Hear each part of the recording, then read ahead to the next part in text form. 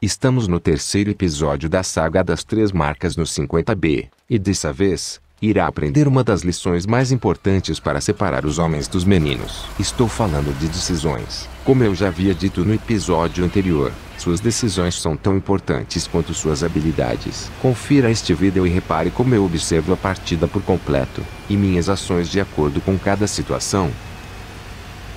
Primeiro, eu tento me posicionar no início da colina para tentar conseguir oportunidades de tiro.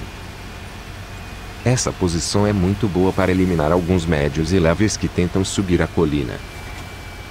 O único problema é que tem artilharia, e sem falar que é uma posição perigosa caso o seu time não seja muito bom, e o risco de ser rushado é grande. É bom ficar sempre atento no mapa para não correr este risco. Se você quer ser um grande jogador, este vídeo poderá lhe dar uma noção de como agir como tal.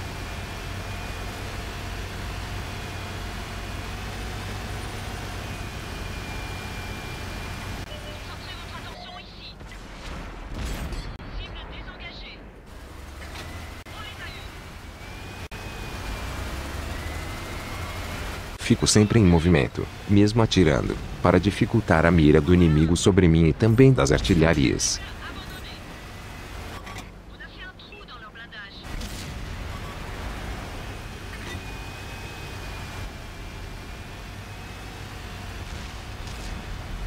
Como você pode ver, a artilharia acabou de me mostrar que está focada em mim. Após tomar este tiro, pude concluir que esta posição não é mais uma opção para mim. Então, o melhor a se fazer é mudar de flanco com urgência. Agora repare no mapa. Meus aliados estão mal posicionados e com desvantagem numérica. Tem inimigos na esquerda e na direita. E aos poucos irão me deixar sem saída. O que você faz em uma situação como essa? Usa sua maior força, sua velocidade, e fuja o mais rápido que conseguir de maneira segura. Mas para onde recuar? A melhor opção sem dúvidas é na linha do 2, porque lá tem cobertura contra a artilharia, Posso dar suporte ao flanco que estou abandonando e tenho suporte das TD aliada caso eu seja arrochado. Nem sempre tudo está perdido. Tenha calma e pense antes de agir. Nunca tome decisões precipitadas.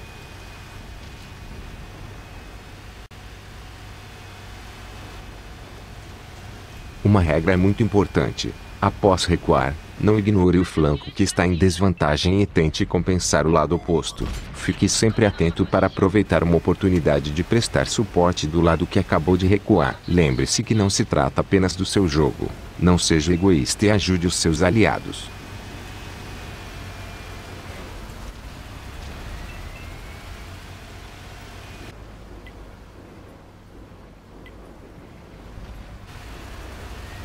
Apesar de eu estar seguro, sempre existe uma chance de tomar tiro de repente nesta posição.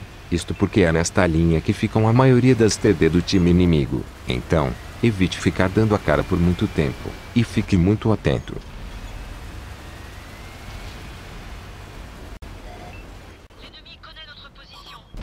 É arriscado clipar aqui sabendo que tem uma TD olhando para mim, mas eu tinha que tentar salvar a vida deste aliado. Isso custou caro para mim mas pelo menos eu fiz minha parte de ajudar. Perceba que diversas vezes eu irei recuar colado na parede. Isso tem um motivo, de diminuir as chances de tomar um tiro da artilharia ou até mesmo do splash. Estou sempre de olho em tudo ao meu redor, principalmente o lado que abandonei, o flanco direito, e procuro sempre uma oportunidade de tiro.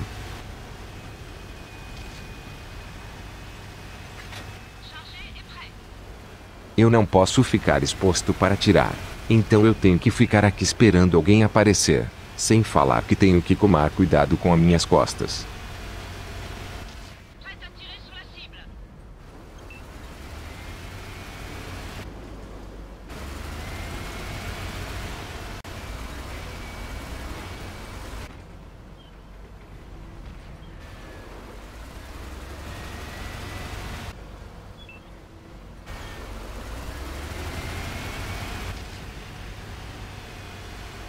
Acabo de ver outro aliado precisando de ajuda, então eu deixo de tentar dar tiro na TD e volto imediatamente para dar suporte na direita.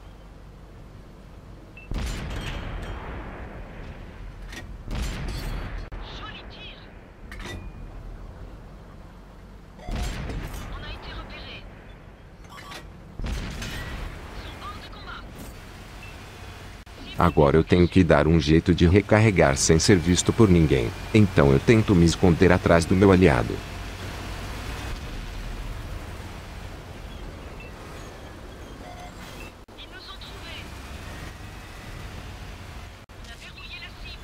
O 140 está com muita dificuldade de matar a TD. E se o 140 morrer, eu serei o próximo. Irei tentar eliminar a TD o mais rápido possível.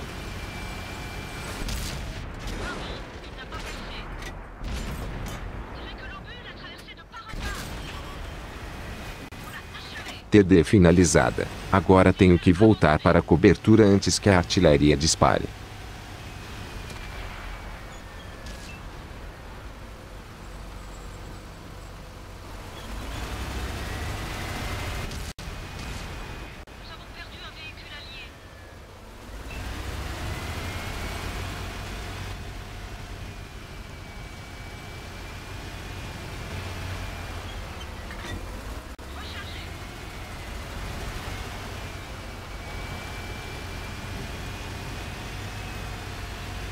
Eu poderia subir pela direita, mas não posso arriscar pois não sei o posicionamento dos inimigos e facilitar para a artilharia me acertar. Sem falar que esse 140 precisa de minha ajuda, e não vou abandonar ele.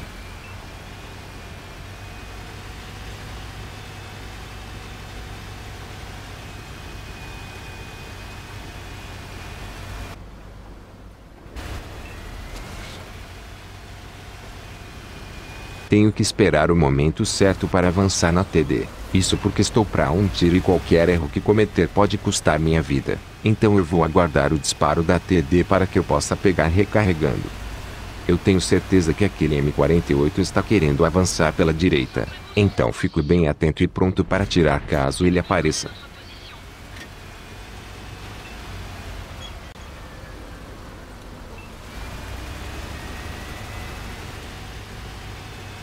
Agora começou a complicar. Se eu ficar aqui, o M48 pode me matar. Se eu avançar, a TD pode me matar.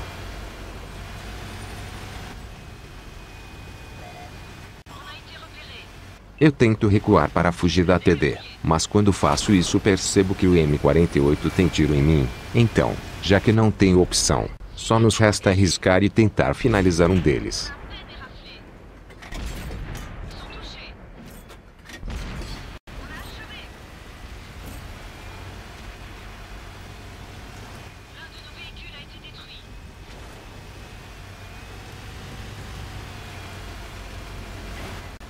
Agora eu percebo que não vou ter tempo de recarregar se eu ficar parado.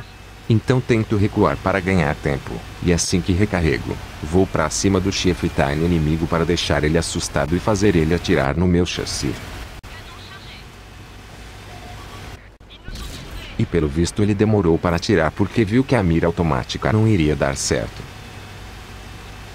Em situações de emergência, tente fazer algo para deixar o inimigo sem reação. Isso às vezes pode salvar sua vida. A mesma coisa vou ter que fazer com o M48, mas antes de matar, tenho que dar um tiro rápido para deixar ele sem vida e esperar para que ele venha até mim e eu possa atirar primeiro. Observe como o tiro rápido faz diferença.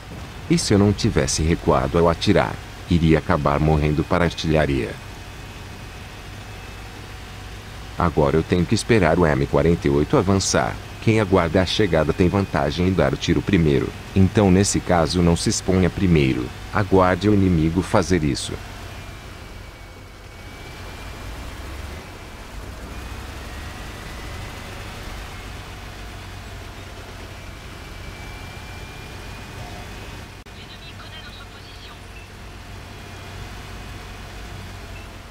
Visto que o M48 está um pouco longe, vou recarregar o pente para que eu tenha mais tiros caso a artilharia inimiga esteja por perto.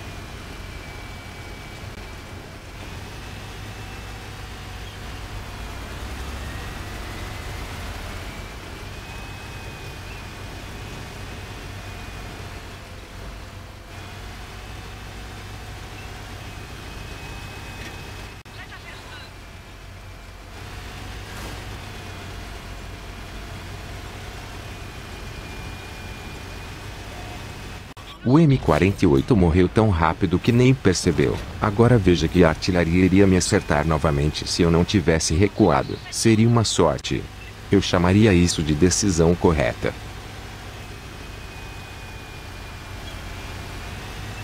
Só para garantir, vou ir pelo outro lado para não correr o risco de me deparar com a artilharia frente a frente. Vou tentar localizar ela de longe para que ela não me veja e eu mate ela de forma segura.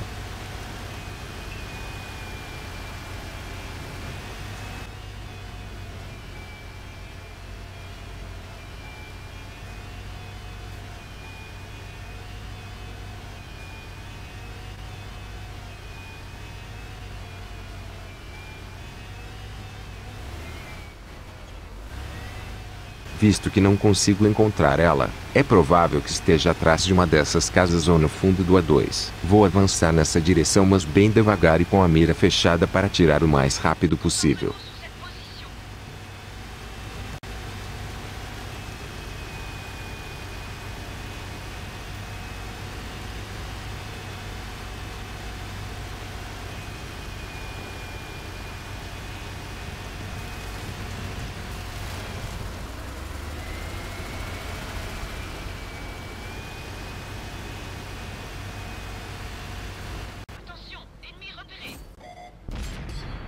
Artilharia finalizada. Partida virada com sucesso. Partida pela qual iria ser rápida para mim se eu não trocasse de posição cedo ou não tivesse ajudado meus aliados. Mesmo não fazendo muito dano, o diferencial é o que te torna experiente. Já que esta partida foi muito longa, esse episódio terá apenas uma partida. Obrigado por assistir. Nos vemos no próximo vídeo.